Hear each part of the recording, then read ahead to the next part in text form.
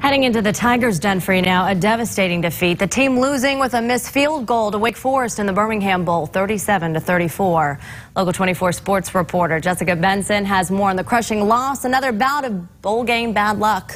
That's right. And for a fifth straight year, the Tigers played in a bowl game, and for a fourth straight year, they lost. Today's loss to Wake Forest in the Birmingham Bowl felt particularly Blech. Mostly because it started so promising. Already up 21 to 10, last game of the season, and finally, a team forgot they are not supposed to kick to Tony Pollard. But the Demon Deacons did, so here we go. 97-yard kick return for a touchdown, the seventh of his career, ties the NCAA record. The good times were rolling, and then they were not. Memphis watched Wake Forest score 20 unanswered points. The Tigers didn't find the end zone again until Patrick Taylor Jr.